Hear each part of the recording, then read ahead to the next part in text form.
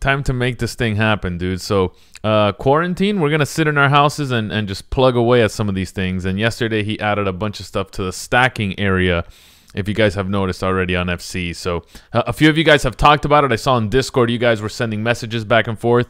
That's pretty cool.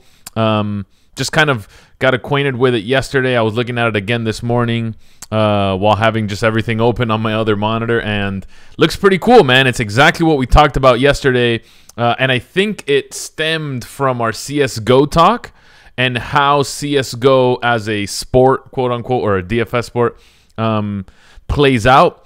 Uh, I I don't know how the last couple days have been, but just kind of speaking to what the strategy can be, should be, is is is you know, little by little, even speaking with you guys, even at times when we don't agree, it just opens my eyes to uh, maybe better strategies, stuff that'll work a little bit more. Um, and and all that is just uh, reflected on what Dave uh, put into the product yesterday. So if you go to a regular, by the way, s1mple's nasty. Um, if you go to the advanced options now, you're just gonna see a few different tables here. Obviously, this is a little bit different. So, so here's here's what we talked about, and this is where this derives from, right? This uh, last stream we talked about, and it kind of happened towards the end of the stream. So if you want to rewatch that, I think it'll be in the last 20 minutes or so. But if you go back to last stream, we said, well, what's the relationship between a winning team and a losing team in the same game, of course?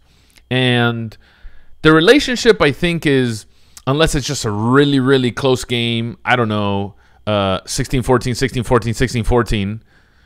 Uh, then I think the relationship is kind of obvious, right? Where if I were to stack three guys from OG and I don't set any sort of limits, I could get three guys potentially a Fnatic, right? That's that's normal. Um, because there's no uh, there's no setting restricting something like this. Whereas now, even if we set team stacks or position stacks or whatever, you can still have a minimum or a maximum of each team if you were to select a stack from that team, right? So again, the way we do this or the way Dave thinks of stuff, the way we've all thought of stuff when implementing stuff into FC is make it as easy to understand as possible, right? Where if you just read and kind of just fill in the blanks, you'll have exactly what you want, right? So um, you have your global settings here where you have players match max from each team. You can set that, and if you don't know, you can just hover. Choose the minimum and maximum number of players that can be selected from any team. So let's just put this at two. Let's just say, as an example, everything switches to two. Players from game max. So if I were gonna, if I was gonna stack mousesports here, and say I'll have two of these guys, um, if I have one coming back, what's the max that I would want from one game, right? Um, probably three. Let's just randomly say three. Um, and then if I want to limit opposing players, which will kind of be the same thing, right? It'll be uh, one coming from the opposite team, right? So let's say it stacks Navi here, right? Let's say it stacks s1mple, uh, device, or I don't even know who's on this team anymore. All the all the uh, all the studs on on Navi, then you have two guys from here, and it'll be one from Mouse, right? Same thing with two from OG, one from Fnatic, or vice versa. And that way you can cap some of this stuff. Where if you have three threes, um, it's still a possibility you can get three threes where teams just it's it's you're putting yourself in a really bad spot just stacking two teams against each other when you need the win um, and a lot of frags and GLA and all that stuff, right? So um, you almost never want to play two teams against each other. A table like this will let you stop that.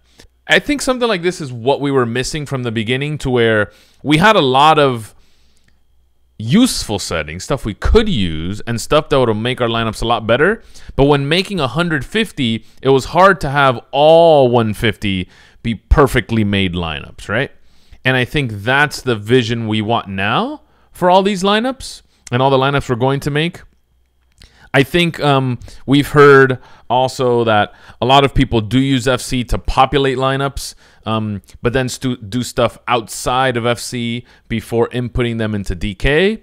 Um, we thought, well, I mean, cool, they're probably smarter or whatever, but how can we make it to where you don't have to do anything outside of uh, FC, right? And and slowly we want to be able to have everyone do everything they want to do in FC. I think this is a huge step towards that. So another thing we added, which you kind of saw here, was um, positions, right? So this will allow for just a little more custom stacks, if you will, right? This allows finer control of the players who will count towards the stack size. An unchecked position may still be used in the lineup, but would not count towards the stack requirement requested. So here's what this means. Let's say we leave this at, let's say we add two, right? And this one will be two players, and we uncheck the captain spot, and we add all eligible teams.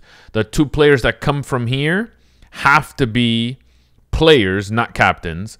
But like, okay, so let's say we have OG as our two-man stack here. Since we still have one more player in the lineup left, um, if it determines that an OG player can still be fit at captain, it'll still use him while still using the two OG players here. You know what I mean?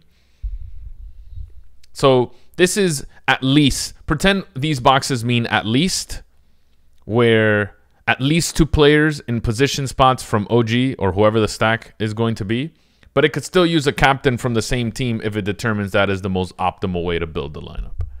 And I think now with these tools for CSGO and League, you do have the ability to do that um, not just quickly, efficiently, but you can try anything you want now.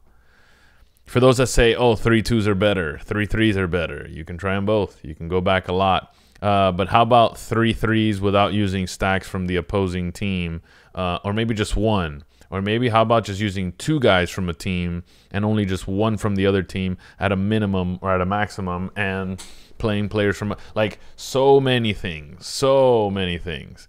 You can be there forever, and I love it because it just gives us more to play around with. The more we have, the better, man.